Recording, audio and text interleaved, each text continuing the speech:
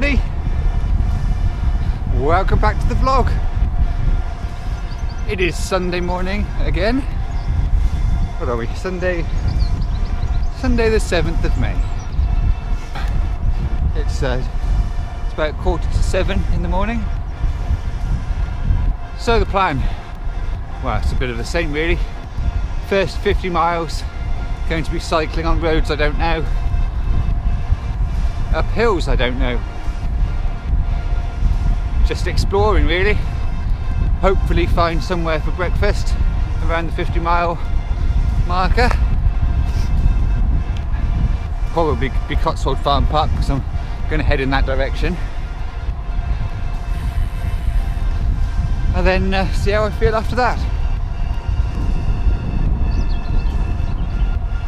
I've just cycled through Pebworth, uh, heading out, I believe, towards Long Marston.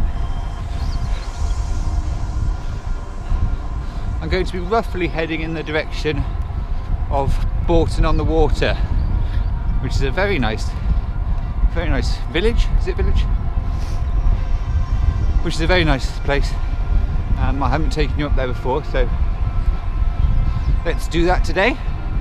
I should arrive there around 9, 9.30 so it hopefully won't be too busy by then.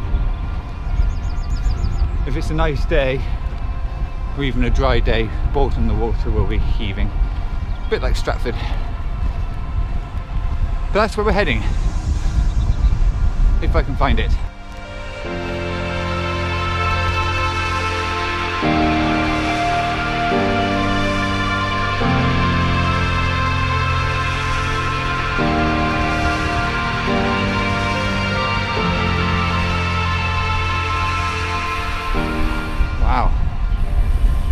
Just come up a nasty little hill. That wakes you up first thing on a Sunday morning. Whew. Over 20% at times.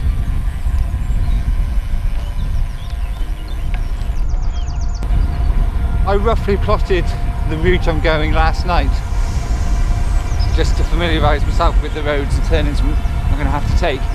And generally speaking, this first 50 miles is uphill.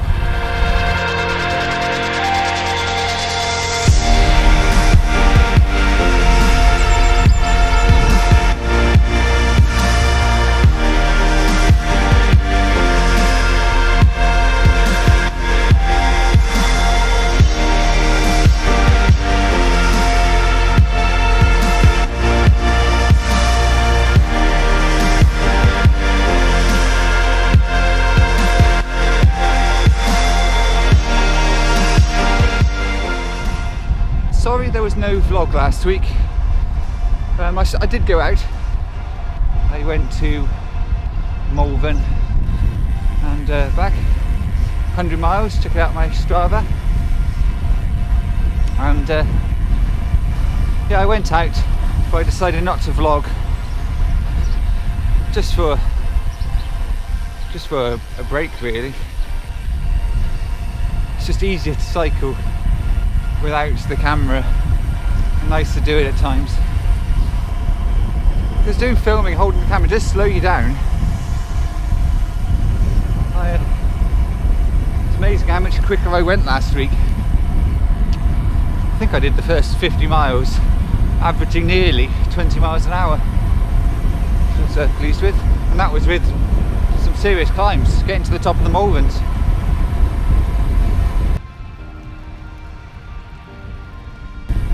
Barton on the Heath. Just passed through.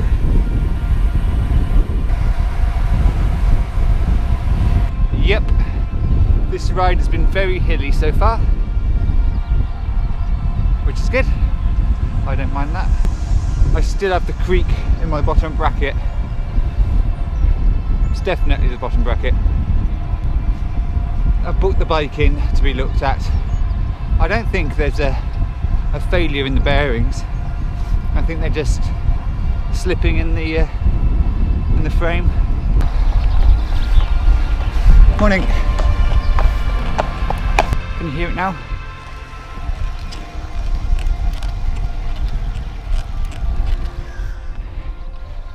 It's very annoying. But hopefully they'll fix it. I have the British Heart Foundation's Cotswold Bike Ride next weekend, next Sunday. So I want the bike running nicely for then. I think I told you about it in a previous vlog. The ride itself is 50 miles, starting and ending at Cheltenham Racecourse, and I'm going to cycle to it and from it, which means I'll cycle 100 miles.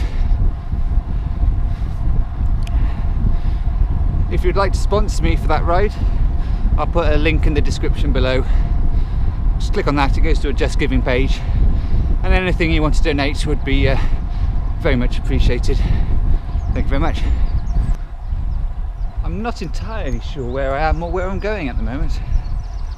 I just saw a sign for Chipping Norton, which sounds sounds good. It's roughly in the right direction, so I'm heading to that.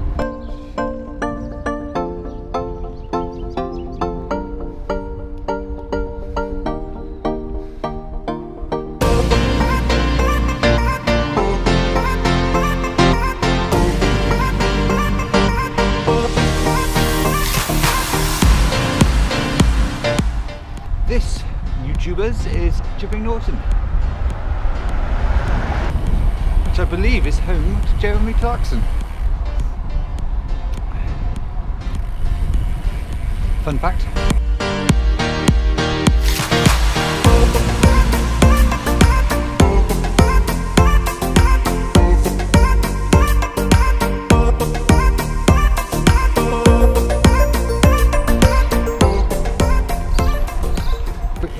There, number 33. Feeling okay so far for this ride. I'm not pushing too hard. As I said, there's a lot of hills, so I'm just pacing myself out. I'm not a quick cyclist anyway. I'm, I go for distance, so it's always pacing. Certainly last week, those first 50 miles at 20 miles an hour average, uh, yeah, I cooked myself. The second 50 were a lot harder. So I always try to think about the long game, how much further I've got to go. Through the summer, I go out in the evenings during the week and generally push a little harder because they're shorter rides, 30 to 40 miles. I can go that little bit harder a bit faster.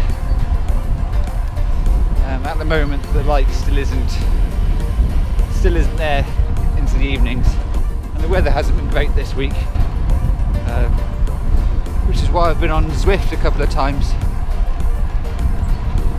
Zwift is a great great training tool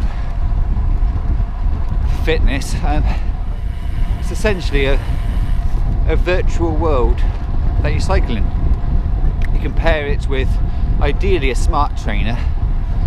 Put your bike on it you log in and then as you cycle on your bike you're a virtual cyclist in the virtual world start cycling as well. And uh, if you have a smart trainer which is, is the best way to do it you get responses back you get feedback. So when your virtual cyclist hits a hill your bike feels like it's going uphill, it's harder to cycle. Also, you get the benefits of drafting. So if you get in a bunch of riders, virtual riders, it gets a little easier, just like it would in the real world. It's just a, a great motivational tool. Seeing some scenery in front of you, I have a screen in front of the bike, and as you cycle along, the scenery changes. It's a lot better than using a static bike in a gym. Not that I do that anymore, but that's just boring. You feel every mile. It's, awful. You can still have another screen in front of you, watching your favourite YouTube videos, maybe mine. But uh, it's a great tool. So if you haven't tried it, give it a go. Okay, where are we now? big church up ahead. I think we're coming into Churchill.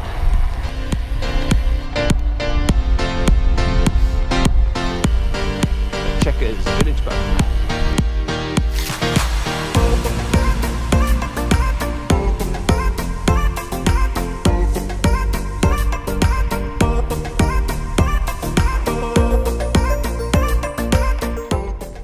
Another little climb And creek. Creek. Creek.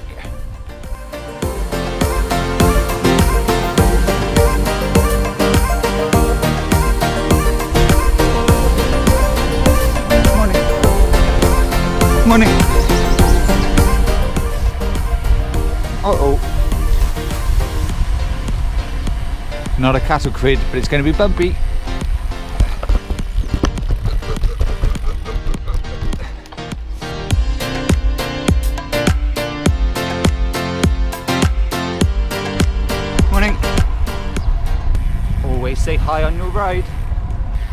Milton under Wychwood. Jow time. The most important thing to remember when cycling these long distances, when you're doing 100k, 100 mile rides, is to eat regularly. These jows are ideal. They're not everyone's uh, everyone's thing. You can make your own snacks to bring along, but jows are handy. It's all in this in this tiny pouch. Handy to put in your back pocket and just pull out. 22 grams multi-source carbohydrate. This one's a lemon and lime, which doesn't taste too bad. I tend to stop when I see a bin. Because they are sticky and you don't want to put them back in your pocket.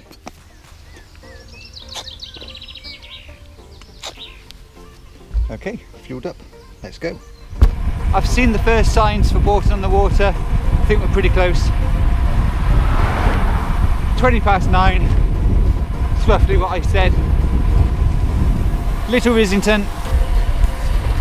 So it's downhill to Bourton on the Water, and then we're climbing out up to Cotswold Farm Park for breakfast.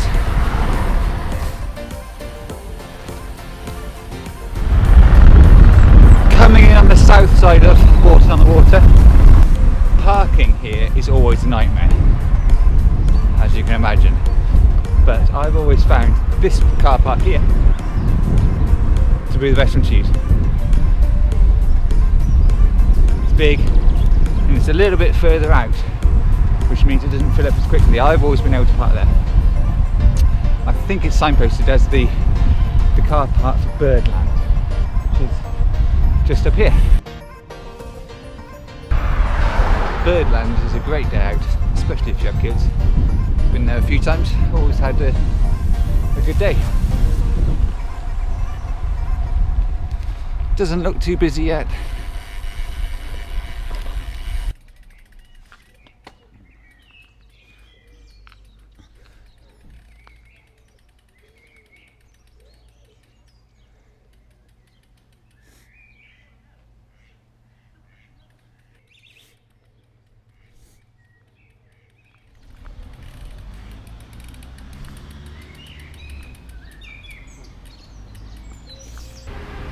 So this is Bourton on the Water. Not busy. Half nine is okay.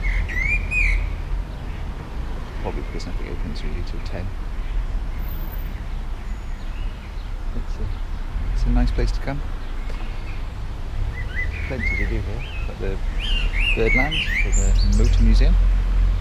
If you go in there, you can see Brum. Brum's the little car from the kids' TV programme. Here? There's a model village. And all sorts of little shops. It's just a typical Cotswold touristy place.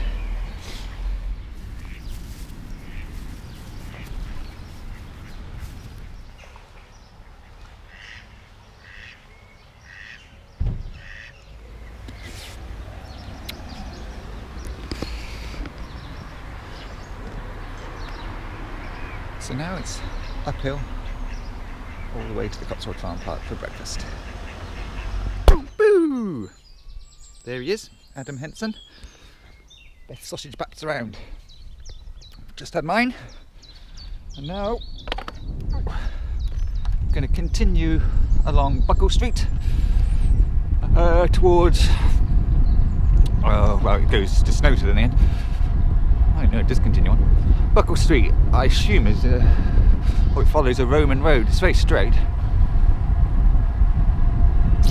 If you stay on it, it goes all the way to Bidford. But this morning I'm going to turn off it uh, down Stanway Hill like I did a few weeks back. But this time I am going to go round Bredon Hill. Last time I cut it short, didn't I, because of the weather, but it's alright this morning.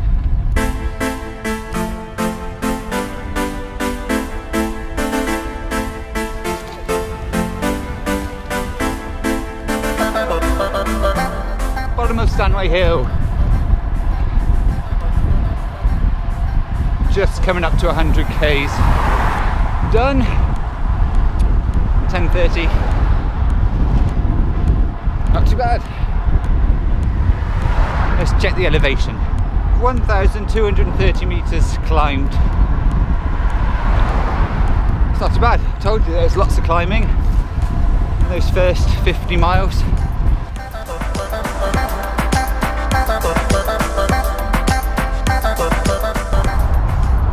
Still heading towards Bredon Hill, going around the far side, which is the clockwise direction I'm going to do. On the road between Toddington and Teddington now. I hate this road, it's so boring. It's around five miles and it's just, it's just nothing. Hello. Okay, he had a biscuit in his mouth, he couldn't say it. Next week at the Cotswold Bike Ride, we're going up this road on the left. That's along the route. Little climb there towards Winchcombe. I just hope we have the nice weather for it next weekend. Last year and the year before was really nice. Proper summer weather. I remember I had an ice cream at the end of last year's ride. It was a lovely day. So fingers crossed for the same this year. Bredon Hill.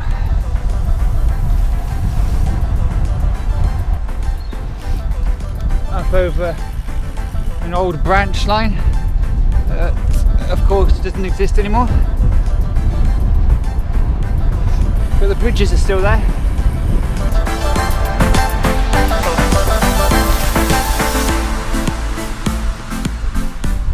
I'm on the far side of Bredon Hill now through Bredon Village. That's been sent along here.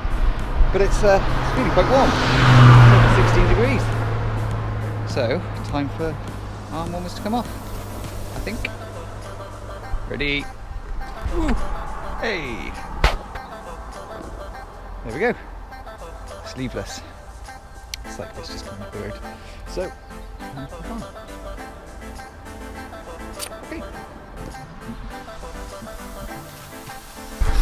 Castle.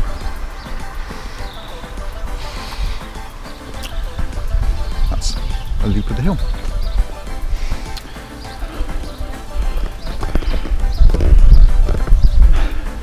Now to Broadway. 10 miles later, just like that. Broadway is busy. Uh. Hello. Hello. And we're off again.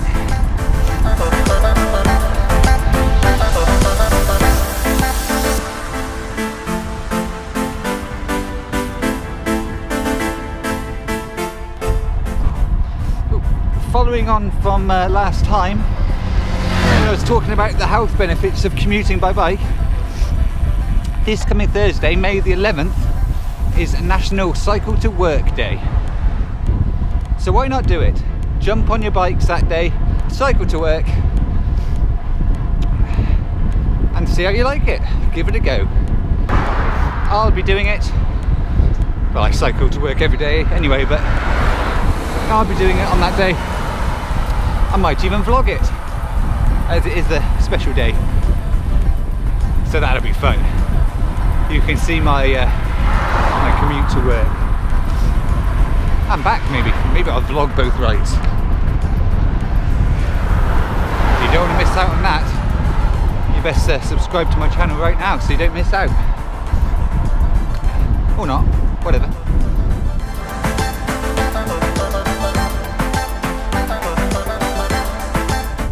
Well, this ride is pretty much done now. Heading home. It'll be, uh, it'll be a little over 90 miles today, which isn't too bad. There was a lot of climbing in those first 50 miles. Uh, quite a relaxing ride, really. Hello. So I hope you've enjoyed today's vlog. You might see me again later in the week for my commute to work. And then of course next weekend is the British Heart Foundation's Cotswold Bike Ride. If you'd like to sponsor me, you can find the link in the description below. So thanks for watching, and until next time, bye!